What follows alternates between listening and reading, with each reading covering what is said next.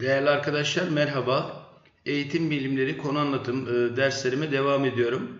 Bugünkü konumuz okul güvenliği, sağlığı ve kriz yönetimi ile ilgili değerli arkadaşlar.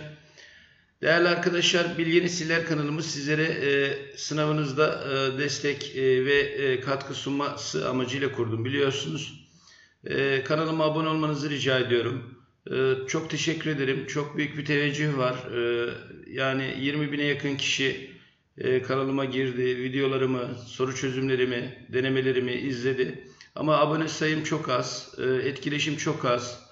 Yani bir beğeni bırakırsanız, eğer videoyu beğenmediyseniz beğenmeme tuşuna da basabilirsiniz. Yani yorumlar kısmına bir nokta bile koysanız o etkileşim oluyor değerli arkadaşlar. Bu çektiğim e, videoların daha fazla kişiye ulaşmasını sağlıyor. Bu konuda sizden özel rica ediyorum, istirham ediyorum. Kanalıma abone olun, e, bildirim tuşunuzu açın. Çekmiş olduğum videolar, konu anlatım videoları, soru çözüm videoları ve e, deneme videoları ekranınıza düşecektir ve e, bu şekilde birbirimize daha çok destek olmuş olacağız. İlginize çok teşekkür ederim. Anlayışınız için çok teşekkür ederim. Hazırlamış olduğum çalışmanın sizlere katkı sunması dileğiyle, duasıyla konu anlatıma geçiyorum değerli arkadaşlar. Okul güvenliği ve disiplini. Okulların üç farklı amacı vardır değerli arkadaşlar. Örgütsel amaçlar, yönetsel amaçlar ve eğitsel amaçlar. Örgütsel amaçlar okulun varlığını sürdürmektir. Yönetsel amaçlar ise hizmeti daha geniş bir kesime yaymak ve daha nitelikli bir eğitim hizmeti sunmaktır. Eğitsel amaçlar ise değerli arkadaşlar, eğitilen kişide değiştirilmesi gereken davranışları değiştirmektir.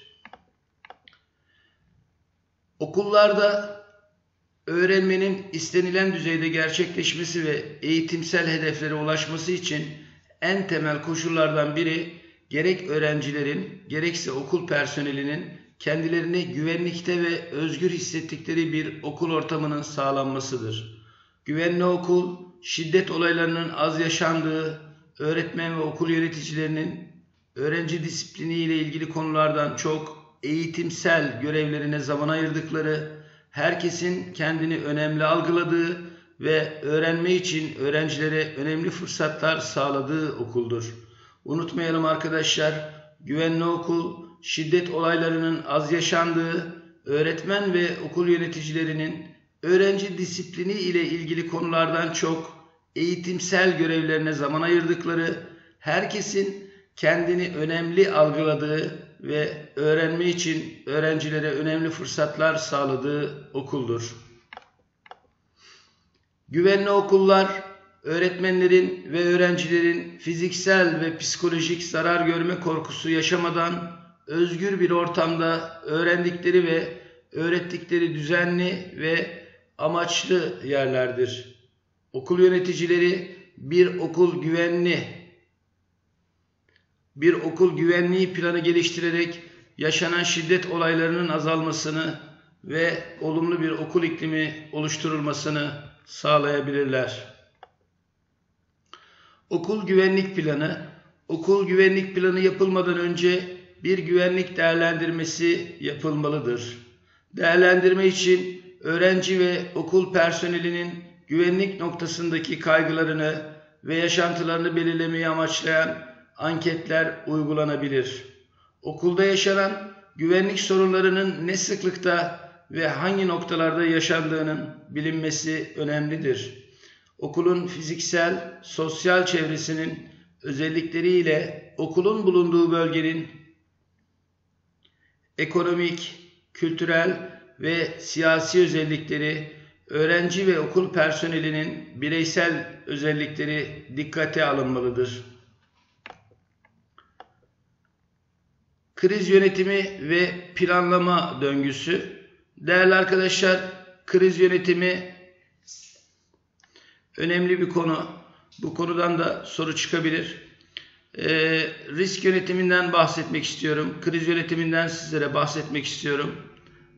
Değerli arkadaşlar, risk yönetimi, tehlike ve risklerin belirlenmesi, fiziksel ve yapısal zarar azaltma çalışmaları, bilinçlendirme ve eğitim çalışmaları, kısa, orta ve uzun vadeli zarar azaltma planları, risk altındaki kritik tesis ve altyapının güçlendirilmesi, yine tarihi eser, çevre ve doğal hayatın korunması, mevzuatın gözden geçirilmesi veya düzenlenmesi, tahmin ve erken uyarı sistemleri, önlem alma, kurtarma, tahliye ve acil yardım planları, eğitim ve tatbikatlar, kaynak sağlamak ve gönüllülük sisteminin oluşturulmasından oluşur. Kriz yönetimi ise değerli arkadaşlar, enkaz yönetimi, yeniden yapılanma, tamir ve güçlendirme çalışmaları, kalıcı konutların inşası, ekonomik iyileşme için programlar, sağlık ve tıbbi servisler, normal yaşam koşullarının oluşturulması, haber alma, ulaşım imkanının sağlanması, arama kurtarma, ilk yardım, tahliye, toplu yardım faaliyetlerinin yapılması, yiyecek, su, ilaç ve benzeri yaşamsal ihtiyaçların karşılanması, güvenlik ve çevre sağlığı, ikinci afetler, yangın, bulaşıcı hastalık ve benzeri e, durumlara hazırlıklı olunması, basın ve halkla ilişkilerin kurulması, geçici iskanların planlanması, hasar tespiti ve enkaz kaldırma faaliyetlerinden oluşur. Afet yönetim sistemi e, hazırlık, afet anı, müdahale, iyileştirme, risk ve zarar azaltma faaliyetlerinden oluşur değerli arkadaşlar. Kriz yönetimi ve plan, planlama döngüsünü e, izah etmeye çalıştım. Değerli arkadaşlar kriz yönetimi ve planlama döngüsünün birinci aşaması krize hazırlık aşamasıdır.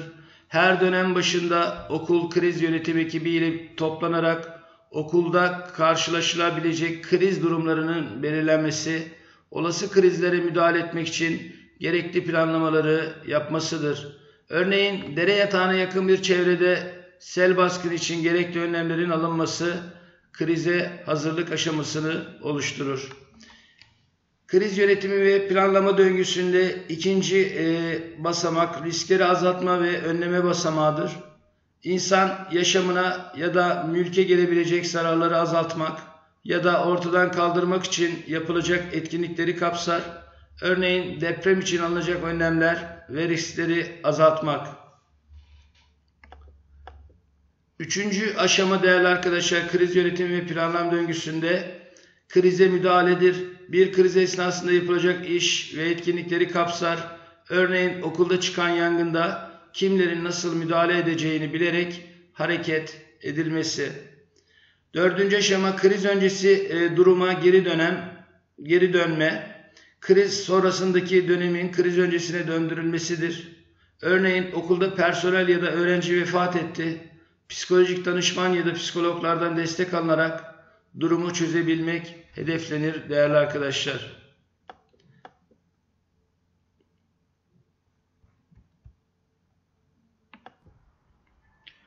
Değerli arkadaşlar e, kanalıma abone olmadıysanız bu noktada e, videoyu durdurup kanalıma abone olmanızı rica ediyorum.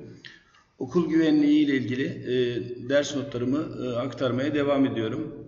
Okul güvenliği öğrencilerin, öğretmenlerin ve diğer personelin kendilerini fiziksel, psikolojik ve duygusal bakımdan özgür hissetmeleri ve okulda öğrenme için uygun bir ortamın sağlanmasıdır.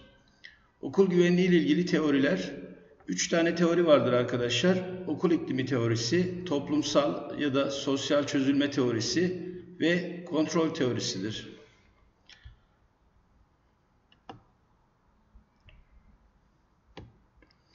Okul iklimi teorisi kabul edilebilir öğrenci davranışlarını belirleyen en önemli unsur okul iklimidir.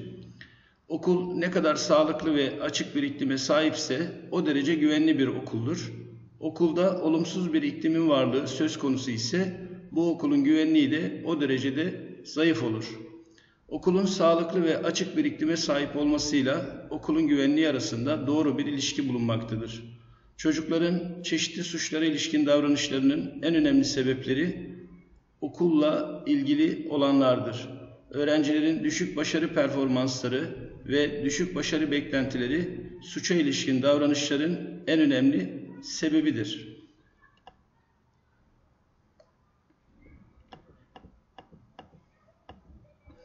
Okul iklimini belirlemeye yarayan göstergeler, sorumluluk alma, kuralları uygulamada tutarlılık, ödüller, standartlar, liderlik, örgütsel açıklık, destek ve dostça ilişkilerdir.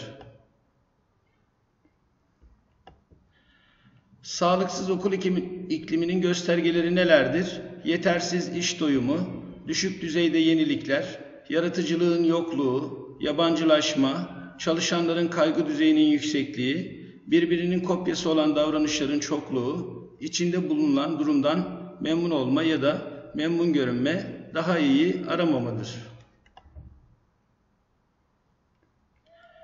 İkinci teori değerli arkadaşlar toplumsal ya da diğer adıyla sosyal çözülme teorisi. Bu teoriye göre okulun güvenli bir yer yapılabilmesi için ön şart toplumun ve ailenin güvenli yapılmasıdır. Okul toplumun aynasıdır. Okulu içinde bulunduğu toplumdan farklı düşünmek uygun bir yaklaşım değildir. Okulların daha güvenli yerler olmaları isteniyorsa önce toplum ve aile güvenli olmalıdır. Çünkü okul güvenliği eşittir toplum güvenliği artı aile güvenliğidir. Okul güvenliği okulun içinde bulunduğu toplumun güvenliğinden bağımsız olarak ele alınamaz. Okul içinde bulunduğu toplumun bir parçasıdır. Okuldaki suç ve şiddet olayları okulun içinde bulunduğu çevrenin bir yansımasıdır. Toplumda görülen her türlü olumsuzluk okulu da aynı şekilde etkileyecektir. Suç oranı yüksek olan bir toplumda okuldaki suç oranı da aynı şekilde yüksek olacaktır. Öğrenci ancak zamanının çok küçük bir kısmını okulda geçirmektedir.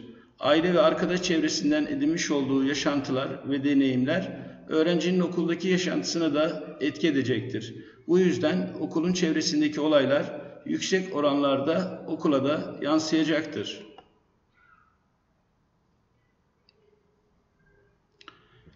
Üçüncü teori değerli arkadaşlar kontrol teorisidir. Okullardaki şiddet olaylarının temelinde toplumsal ve kültürel etkililiğin zayıflığı yatmaktadır. Özellikle de toplumsal değerlerin aile ve okul gibi kurumlarca çocuklara yeterince aktarılamaması söz konusudur. Bu değerlerin çocuklara yeterince aktarılamaması okuldaki şiddet olaylarının en önemli nedenlerinden biridir. Okul toplumsal kontrolü sağlamaya yönelik en önemli araçtır. Yetenekleri açısından yetersiz olan öğrenci okulda başarısız olabilir ve bu başarısızlık da çocuğun okula karşı yabancılaşmasına neden olur. Okullarda öğrencilerin yeteneklerini ortaya çıkaracak etkinliklere önem verilmelidir. Geleneksel değerlerden uzaklaşma durumunda bireylerin davranışlarını kontrol edecek araçlar olarak yasalar ve kişilerin bireysel tercihlerine ilişkin alternatif söz konusudur. Geleneksel değerlerce desteklenmemesi durumunda yasalar ve bireysel tercihler her zaman insanı istenene ya da olması gerekene yönlendirmeye ve ulaştırmaya yeterli olamamaktadır. Her bir öğrencinin belli bir kapasiteye sahip olduğuna inanmak önemli bir başlangıçtır.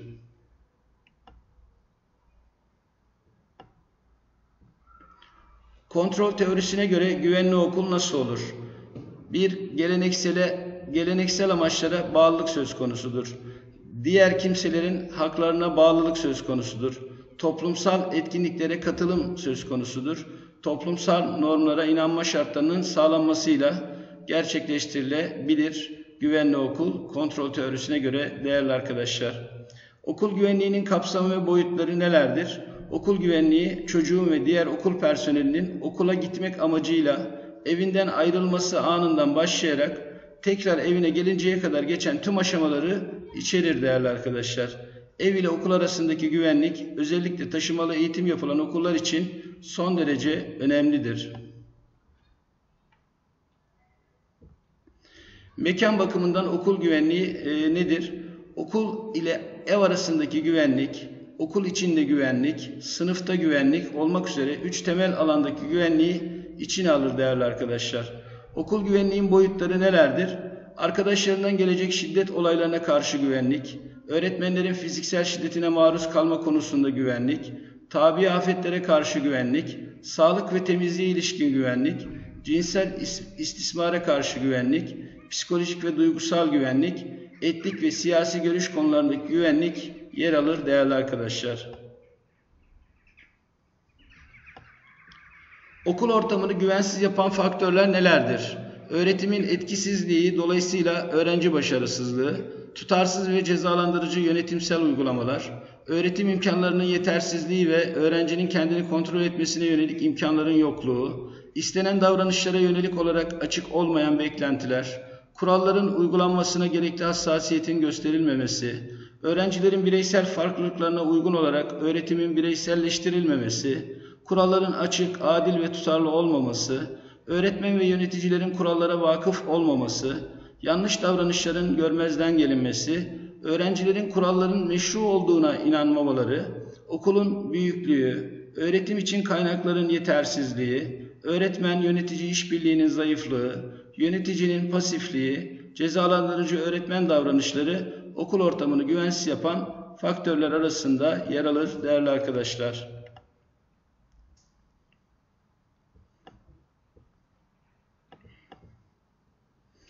Okul güvenliğine ilişkin sorunlar nelerdir?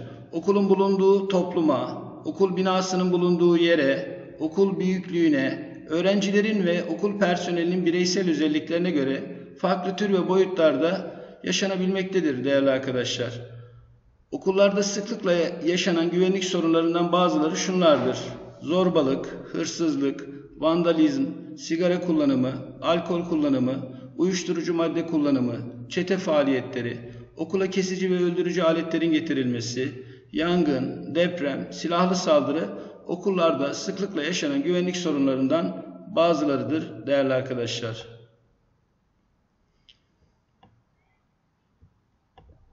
Zorbalık nedir? Zorbalık çeteler, aile ve okul gibi sosyal kurumların karşılayamadığı veya karşılamakta yetersiz kaldığı eğitim, canlılık, koruma ve bir gruba ait olma hissi gibi bazı ihtiyaçları karşılamaktadır değerli arkadaşlar. Okul vandalizmi ise kamunun kullanımına açık bazı eşyaların kırılması, parçalanması, kesilmesi ya da yakılması e, durumudur. Yine okul sıra ve masalarının çizilmesi, duvarlara yazılar yazılması, lambaların ve camların kırılması gibi davranışlarda okul vandalizmi içerisinde yer alır. Okul çeteleri, çete dışarıdan herhangi bir yardım görmeyen ve sosyal ve sosyal bir hedefi olmayan, kendiliğinden oluşan gruplara okul çeteleri denir değerli arkadaşlar. Güvenli okulun özellikleri nelerdir? Okulda güçlü bir liderlik, kendini işe adamış öğretmen kadrosu, üst düzeyde veli ve toplumsal katılım ve programların seçilmesinde öğrencilerin görüşlerinin dikkate alınması söz konusudur. Okulun fiziksel düzeni güvenlidir. Okul güvenliğini devam ettirmeye ve önlemeye yönelik politikalar tutarlı ve devamlı olarak uygulanmaktadır. Okul güvenliğine ilişkin önleyici programlar öğrenci özellikleri dikkate alınarak belirlenmektedir. Okul güvenliğine ilişkin önlem ve politikalar gözlenebilir yaklaşımlara dayanmaktadır. Öğretmen ve diğer çalışanlar okul güvenliğine ilişkin programları uygulama konusunda sürekli eğitilmekte ve desteklenmektedir. Okul güvenliğine ilişkin önlemler ve programlar sürekli gözlemlenmekte ve değerlendirilmektedir.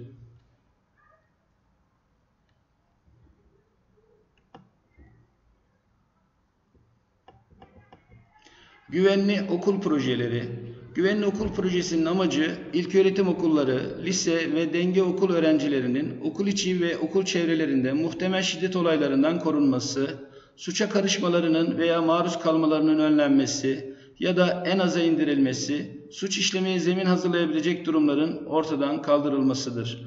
Okulların güvenliğinin artırılması için emniyet personelince azami gayretin sarf edilmesi ve bu yönde yapılan faaliyetlere ilişkin bilgilerin diğer kurumlarla karşılıklı aktarılması için gerekli sistemin kurulması, süratle koordine sağlanması ve etkin önlemler almak için ortak hareket edilmesi okul güven, güvenli okul projeleri içinde amaçlanan durumlardır değerli arkadaşlar.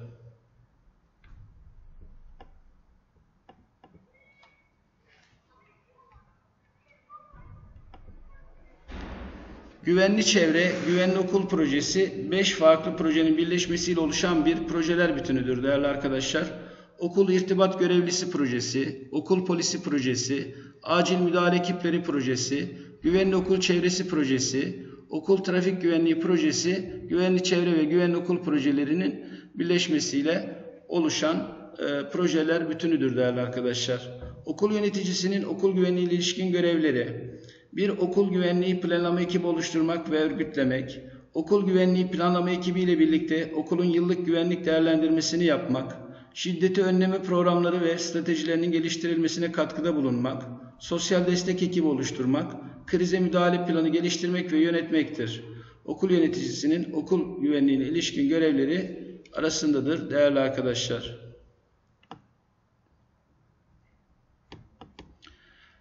Rehber öğretmenin okul güvenliğine ilişkin rol ve görevleri nelerdir? Okulda yaşanan güvenlik sorunlarını, nedenlerini, alınabilecek önlemleri belirleyici nitelikte çalışmalar yapmak ve bu çalışmaların sonuçlarını okul yönetimiyle paylaşmak.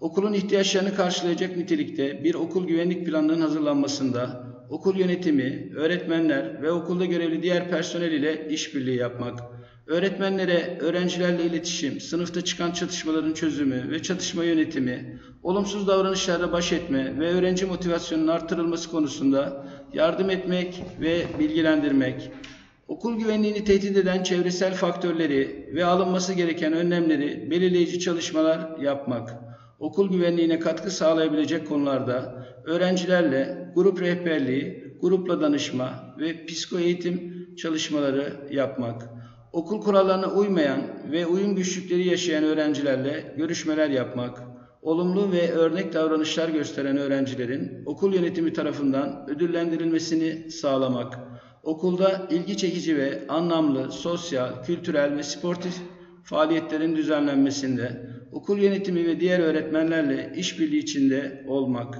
okul aile işbirliği ve bağlılığın sağlanması amacıyla çeşitli etkinlik ve girişimlerde bulunmaktır. Okul sağlığı, öğrencilerin ve okul çalışanlarının sağlığının değerlendirilmesi, geliştirilmesi, sağlıklı okul yaşamının sağlanması ve sürdürülmesi, öğrencilere ve dolayısıyla topluma sağlık eğitiminin verilmesi için yapılan çalışmaların tümü okul sağlığı olarak tanımlanmaktadır. Okul sağlığı hizmetlerinin amaçları toplumda okul çağındaki bütün çocukların olabilecek en iyi bedensel, ruhsal ve toplumsal sağlığa kavuşmalarını sağlamak ve sürdürmek, okul çocuklarının sağlıklı bir çevrede gelişimini sağlamak ve çocukların ailelerinin ve toplumun sağlık düzeyini yükseltmektir. Çağdaş okul sağlığı hizmetlerinin dört boyutu bulunmaktadır. Öğrenci sağlığı, okul çevresi, sağlık eğitimi ve okul çalışanlarının sağlığıdır. Bir öğrenci sağlığı, sağlığı korumayı, geliştirmeyi, hastalıkları önlemeyi, sağlık sorunlarını tespit ederek kesin tanıya varmayı, gerekliyse tedavi etmeyi, ani gelişen hastalıklar ile yaralanmalara acil bakım sağlamayı, sağlıkla ilgili eğitim ve danışmanlığı içerir. 2. Okul çevresi okul çevresi deyimi okulun yeri, binası, etrafı, toplumsal çevresi, altyapı kurumları, oyun alanları, su sağlanması, çöplerin yok edilmesi, tuvaletler, ısıtma ve havalandırma, aydınlatma, sıralar ve sınıfların büyüklüğü gibi konuları içerir. Okullar güvenli ve sağlıklı okul çevresiyle çevrelerindeki yollarda trafik düzenlemesi için gerekli önlemleri aldırmak ve almaktan sorumludur. Okul çevresi temiz su, ve temiz çevre imkanlarına sahip olmalıdır. Öğrencileri bulaşıcı hastalıklardan, ayrımcılıktan, tacizden, istismardan, kazalardan ve şiddetten korumak, sigara, alkol, ilaç, uyuşturucu ve uyarıcı madde kullanımını önlemek için gerekli, gerekli önlemleri içermelidir. Okul binalarının yeri ve konumu Değerli arkadaşlar, okul çevre sağlığı standartlarına göre okul binalarının ana yol üzerinde olmaması gerekir. Şehir okulları öğrencilerin kolaylıkla gidip gelebilecekleri yerde bar, meyhane, kahvehane ve benzeri gibi tesislerden en az 100 metre uzaklıkta inşa edilmelidir. Ayrıca ana yola, tren yoluna, gürültü, koku, duman çıkaran fabrikaların yakınına yapılmamasına, bina yakınında fiziksel ve ruhsal zedelenme yapabilecek etkilerin bulunmamasına özen gösterilmelidir. Okulların yüksek gerilim hattından en az 30 metre uzaklıkta olması gerekir.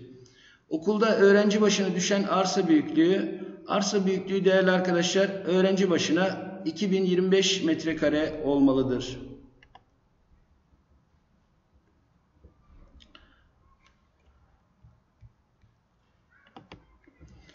Okul binasının yoğun taşıt trafiğinden uzaklığı, okul binaları işlek ana caddelerden en az 100 metre uzaklıkta olmalıdır. Okulun yanında gürültü yapan koku ve duman çıkaran fabrikaların varlığı, bu fabrikaların okula uzaklığının en az 500 metre olması esas alınmıştır. Okulun bahçesi, okulun bahçesinde ve ders aralarında öğrencilerin kullanacağı alan 400 metrekareden az olmamalıdır ve öğrenci başına en az 5 metrekare olmalıdır. Okul önünde yaya trafiğini düzenleyen sistem, okul önlerinde bulunan yaya geçitlerinde okul giriş ve çıkış saatlerinde bir yetişkin görevlendirilmelidir. Okulun kat sayısı, koridor sistemi ve zemin kaplaması, okul koridorunun genişliği 3 metre olmalıdır.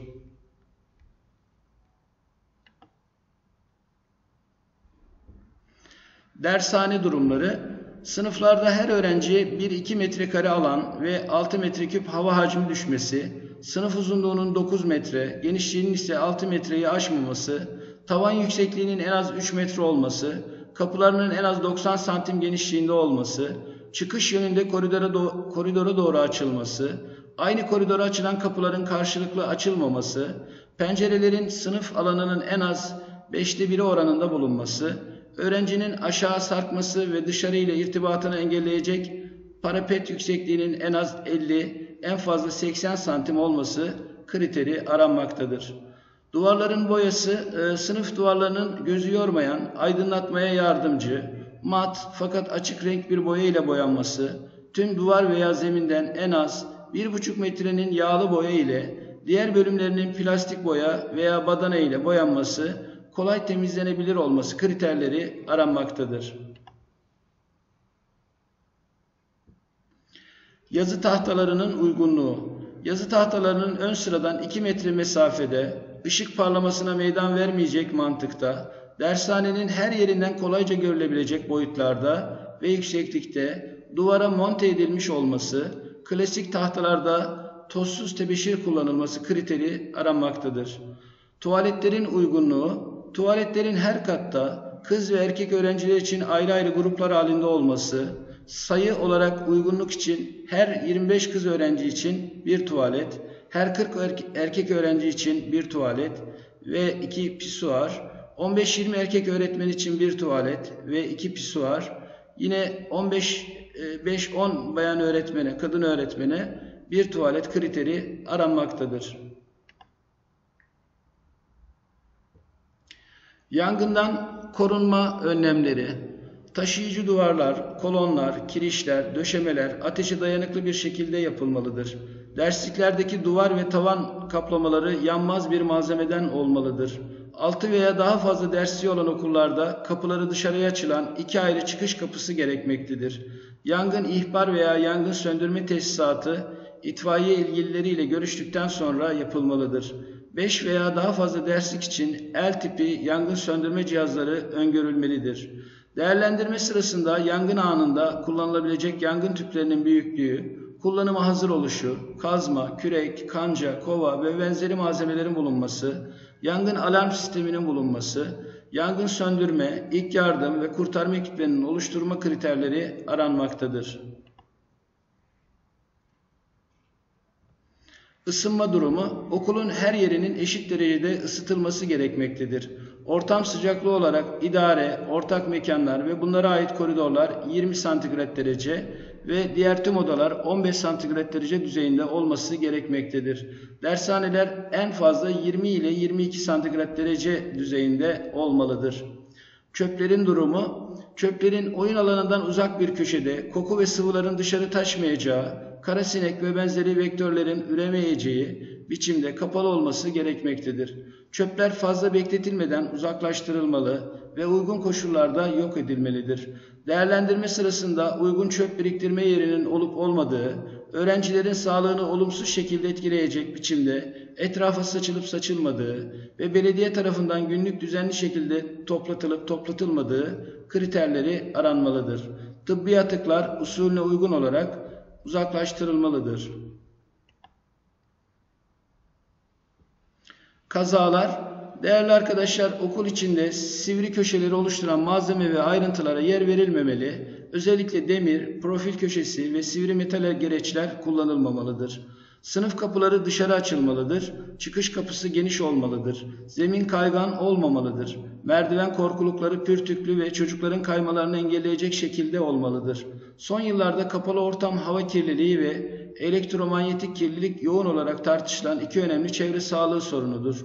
Özellikle okullarda kapalı ortam hava kirliliği havalandırmanın yeterli sağlanamaması, okul hava hacminin yeterli olmaması, kapı ve pencere çevrelerinde izolasyon için farklı malzeme kullanılması gibi çeşitli nedenlerle önem kazanmaktadır. Kapalı ortam hava kirliliğinin önlenmesi için okulun yeterince havalandırılmasına yönelik önlemler alınmalıdır. 3. Sağlık eğitimi. Sağlık eğitimi çeşitli eğitim tekniklerini kullanarak hedef grupta istenilen sağlık, bilgi, tutum, davranış ve değerlerin geliştirilmesini amaçlar. Okulla ilgili öğrenci, öğretmen ve veliler olmak üzere başlıca 3 hedef grup vardır. Sağlık çalışanlarının temel sorumluluklarının başında hedef grupların sağlık eğitimlerinin yapılması gelmektedir. Sağlık çalışanlarının öğretmen ve veliler işbirliği yaparak öğrencilerin evde ve okuldaki sağlık eğitimlerinin birbirini tamamlayacak şekilde olmasını sağlaması gerekir. Sağlık eğitiminde öğrenciye öncelikle kendi sağlığını geliştirme ve sürdürme, sorumluluğunu edinmesi ve ayrıca diğer kişilerin sağlığının korunmasında sorumluluğu paylaşması da öğretilmelidir. 4. Okul çalışanlarının sağlığı başta öğretmenler olmak üzere bütün okul çalışanları bu kapsamda yer almaktadır. Okul ortamı çalışanların sağlığını etkileyebileceği gibi dolaylı olarak öğrencilerin okul başarısını da etkileyebilmektedir. Öğretmenlerin okul sağlığı çalışmalarındaki asıl önemi eğitici işlevlerinden kaynaklanır. Çocukların ve gençlerin sağlıkla ilgili olumlu davranışları kazanmalarını sağlarlar. Bu nedenle öğretmenlerin eğitilmeleri ve örnek davranışlı model kişiler olmaları son derece önemlidir. Okul sağlığında izleme, e, büyüme ve gelişmenin izlenmesi, okul çağı çocuğun hızlı fiziksel, bilişsel ve psikososyal gelişiminin olduğu önemli dönemlerden biridir. Okul çocuğun birçok açıdan gelişimini etkilemektedir. Sağlık izleme 5 yaşından 19 yaşa kadar uzanan okul çağında da sağlıklı ve üretken kuşaklar yetişmesinin ön şartıdır.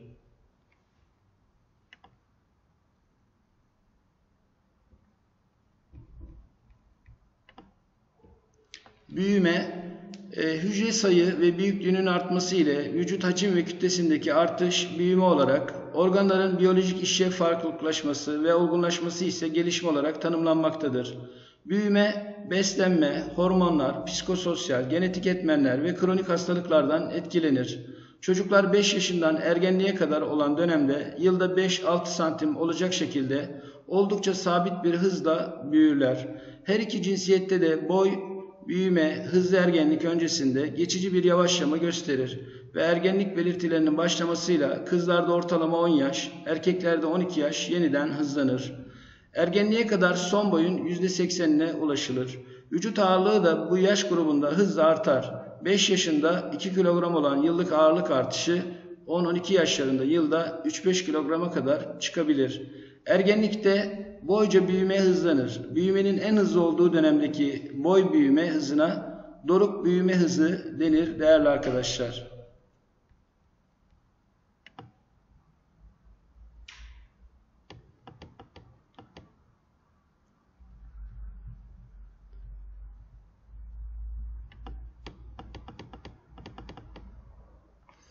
Büyümenin izlenmesi 5-19 yaş grubundaki çocukların yılda bir kez boy ve vücut ağırlıklarının ölçülmesi ve uygun standartlar ile değerlendirilmesi gerekmektedir. Gelişme, cinsel gelişme, ergenlik çocukluktan erişkinliğe geçiş sürecidir. Bu süreç iç salgı bezlerinden salgılanan hormonlar tarafından başlatılır ve sürdürülür. Testis ve yumurtalık gibi cinsiyet organlarının ve cinsiyete özgü dış görünüm özelliklerinin gelişmesi, büyüme ve kemik olgunlaşmasında belirgin hızlanma, vücut oranlarında ve bedensel yapıda değişiklik ergenlik sürecinin özelliklerini oluşturur. Ergenliğin ilk klinik belirtileri kız çocuklarında 8 ile 13 yaş arasında, ortalama 10.1 yaş e, olarak kabul edilir. Erkeklerde 9 ile 14 yaş arasında ortalama 11.6 yaş arası kabul edilir değerli arkadaşlar.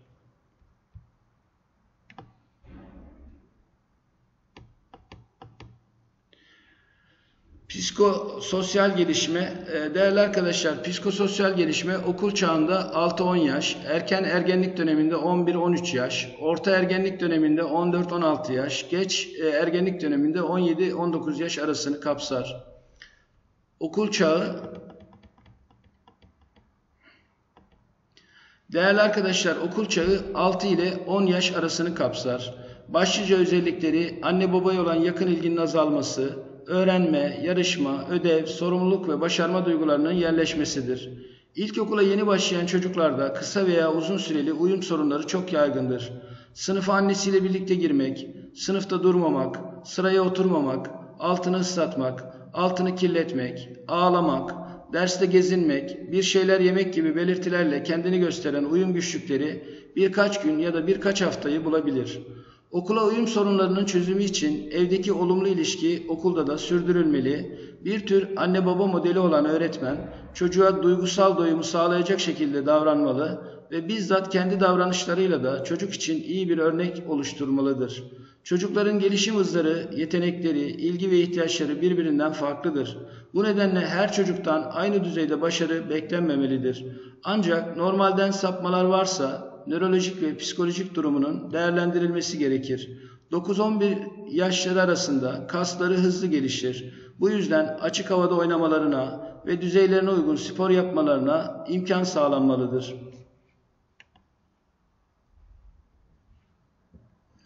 Erken ergenlik dönemi 11-13 yaş arasını kapsar.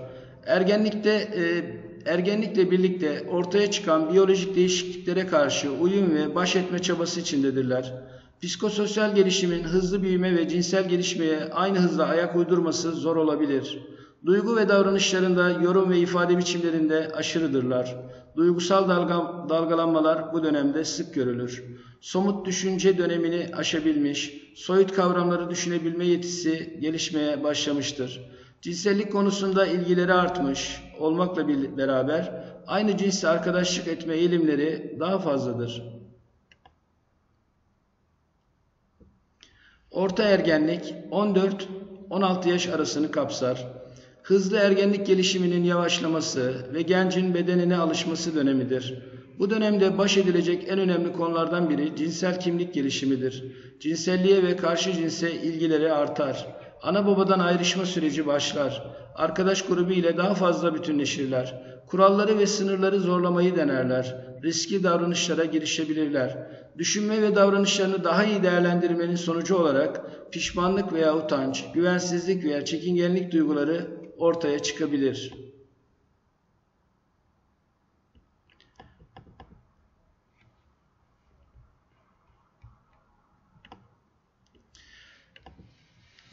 Geç ergenlik 17-19 yaş arasını kapsar.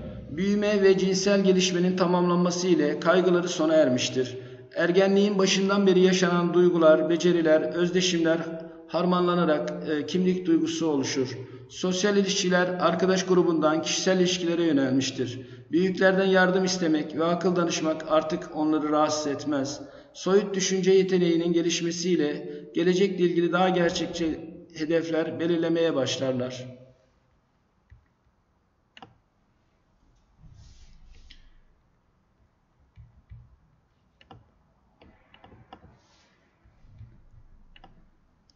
Okullarda yapılması gereken sağlık taramaları. Değerli arkadaşlar, olağan tıbbi muayene, görme taraması, işitme taraması, büyüme ve gelişme taraması, ağız ve diş sağlığı taraması, duruş bozuklukları taraması, kan basıncı taraması ve anemi taraması yapılır. Okullarda e, bu e, sağlık taramaları yapılır değerli arkadaşlar.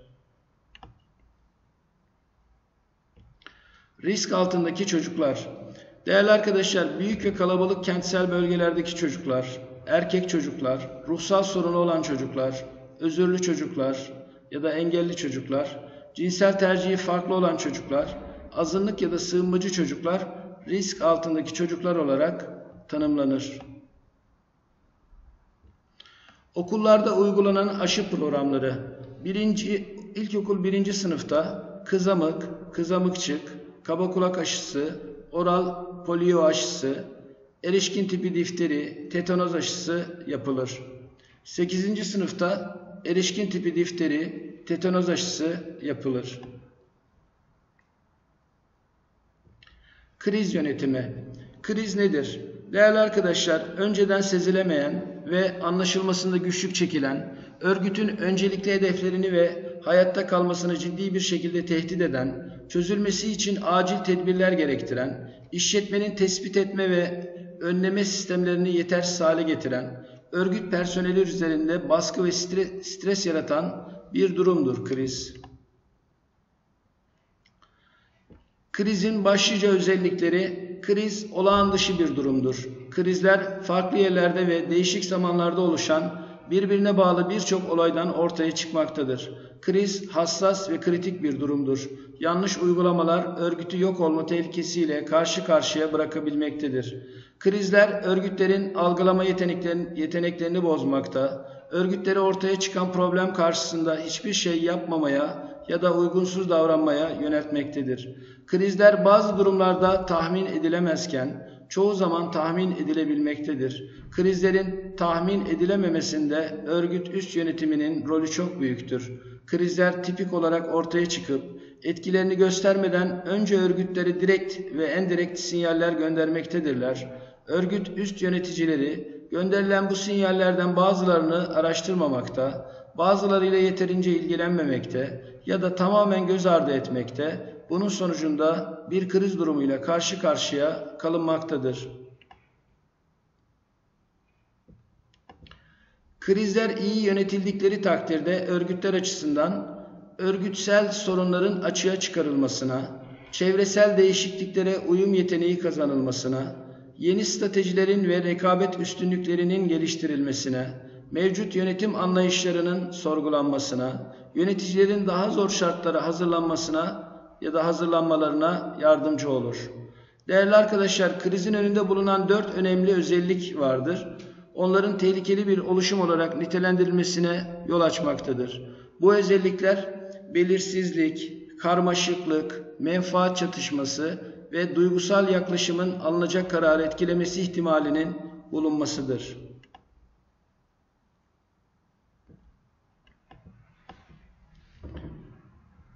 Değerli arkadaşlar, krizlerin çözülmesi büyük ve köklü tedbirleri gerektirmektedir. Krizler kritik, mücadele edilmesi gereken örgütsel durumlardır. Örgütler üzerinde baskı, stres, güvensizlik, panik ve karışıklık gibi olumsuz durumlar yaratırlar. Krizler örgütlerin genel amaçlarını ve uzun dönemde gerçekleştirmeyi düşündükleri stratejik amaçları tehdit ederler. Krizler örgütlerin toplumda yarattığı olumlu ünü tehlikeye sokabilmektedir. Örgüt üzerinde stres yaratan her durumu kriz kavramıyla ifade etmek doğru değildir. Krizlerin çözümlenmiş olması onların bir daha ortaya çıkmayacakları anlamına gelmemektedir. Bazı kriz türleri Değerli arkadaşlar, kaynaklarda geçen bazı kriz türleri, kriz türleri şunlardır. Uzun süreli grevler, yangın ve patlamalar, kirlilik, ham madde sorunları, büyük ürün hataları, örgüt içinden veya dışından gelebilecek sabotaj, sabotajlar, önemli fabrika veya donanım hataları, ürün sahtekarlıkları, taklitçilik, büyük endüstri kazaları, yanlış söylentiler, kötü niyetli iftiralar, rüşvet, cinsel taciz, terörizm, boykotlar, yönetim bilgi sistemindeki hatalar, kötü iletişim kriz türlerine örnek olarak verilebilir. Krizlerin ortaya çıkmasında iç ve dış çevre faktörlerinin etkileşimi. Değerli arkadaşlar, krizlerin ortaya çıkmasında ve şiddetinin derecesinde iç ve dış çevre faktörlerinin etkileşimi önemli rol oynamaktadır. Bu etkileşimin üç temel boyutu bulunmaktadır. Bu boyutlar denetim, algılama ve hassasiyettir. Denetim, örgütün dış çevreyi kontrol etme derecesidir. Düşük veya yüksek olarak. Algılama ise kriz durumlarının pozitif yani amaçlara ulaşmak için fırsat yaratan veya negatif yani amaçlara ulaşma şansını azaltan e, olarak algılanmasıdır. Hassasiyet ise değerli arkadaşlar örgütün değişikliklere karşı hassasiyetidir. Düşük e, veya yüksek şekilde e, görülebilir hassasiyet. Örgütün krize karşı yapısal bir hazırlığı yoksa krize hassasiyeti yüksek, krize cevap verme derecesi düşük olacaktır. Kriz hassasiyeti yüksek olan örgütlerin temel özelliklerinden bazıları şunlardır. Stratejik karar alma faaliyetlerinin örgütle uyum sağlamaması, pasif yaklaşımlı, düşük öz saygılı, yüksek endişeli karar vericiler, esneklik, uyum ve istikrar eksikliği, eski görüşleri bırakmayan üst yöneticiler, değişikliklere ve merkezileşmeye önem vermeyen yönetim yapısı, kriz süreci işletme ve çalışanlar üzerinde birçok etkiler yaratabilmektedir. Bu etkileri genel olarak işletme içindeki kararlarda merkezileşme eğilimi, personel üzerinde korku ve huzursuzluk eğilimi, zihni süreçlerin zayıflaması ve kararların niteliğinin bozulması olarak sıralanabilir değerli arkadaşlar. Krizin aşamaları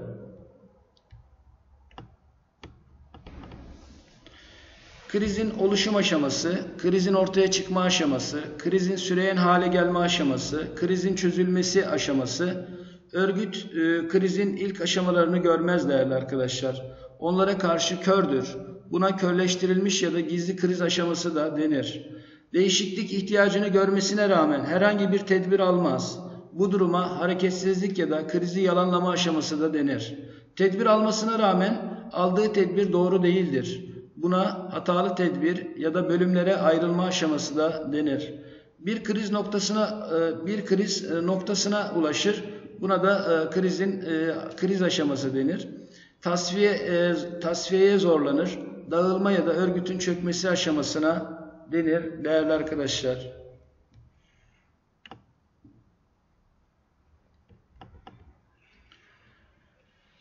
Kriz sürecinin işletmeler üzerinde yarattığı etkiler İşletme içindeki kararlarda merkezileşme eğilimi görülür. İşletme personeli üzerinde korku ve huzursuzluk eğilimi görülür. Zihni süreçlerin zayıflaması ve kararların niteliğinin bozulması etkileri görülür değerli arkadaşlar. Krizin faydaları var mıdır? Varsa nelerdir? Ee, ona değinelim değerli arkadaşlar. Krizin faydaları iç ve dış değişikliklere karşı kaybolan uyum yeteneğinin yeniden kazanılması ve yeni stratejilerin oluşturulmasına imkan verir. Geleneksel yönetim tekniklerinde hızlı bir değişim sağlanması söz konusu olur. Örgütün bütün unsurlarının yeniden gözden geçirilmesi ve olası kriz için daha donanımlı ve dirençli hale gelmenin yollarının aranması ve tedbirlerin alınmasına imkan sağlar. Çalışanlarda sürekli istikrarın bir bakıma bir durgunluk olduğu ve asıl istikrarın değişim ve gelişmede aranması gerektiği düşüncesinin oluşmasını sağlar. Yeni rekabet avantajları ve ekonomik çıkarlar için fırsat oluşturur. Kriz, örgütsel sorunların ortaya çıkmasını sağlar. Kriz dönemine yönelik planların özellikleri. Değerli arkadaşlar, kriz anında Görevli personelin görev ve sorumlulukları belirlenmiş olmalıdır. Ölçülebilir olmalıdır. Belirli aralıklarla yapılacak tatbikatlarla uygulanabilirliği test edilmelidir. Somut olmalıdır. Değişik afet türlerine yönelik uygulanabilecek stratejilere yer verilmelidir. Erişilebilir olmalıdır kriz yönetiminin e, zarar azaltma, önceden hazırlık, acil müdahale, iyileştirme ve yeniden yapılandırma aşamalarına yer verilmelidir. Geniş ölçüde katılımı içermeli, öncelikler belirlenmiş olmalıdır.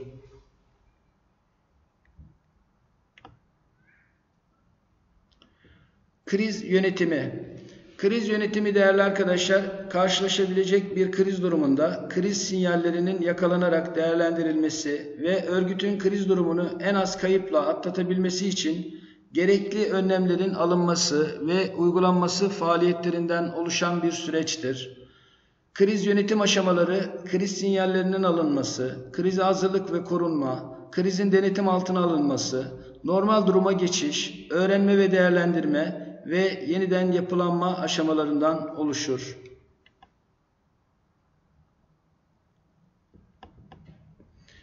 Kriz sonrası yönetim. Kriz sonrası yapılacak ilk iş durum analizine yönelik bir toplantı düzenlemektir. Bu toplantının gündemini genel olarak kriz sonrası faaliyet ölçeğini ve amacını belirlemek oluşturur. Kriz sonrası durum doğrultusunda yeni amaç belirlemek. Değerli arkadaşlar, kriz sonrası durumda yeni amaç belirlenir. Faaliyet ölçeği belirlenmesinden sonra yeni faaliyet ölçeği doğrultusunda yeni amaç belirlenmelidir. Amaç genel çizgileriyle sonuçlara yönelik olmalıdır. İlk aşamada çok ayrıntılara inerek zaman kaybetmeye gerek yoktur.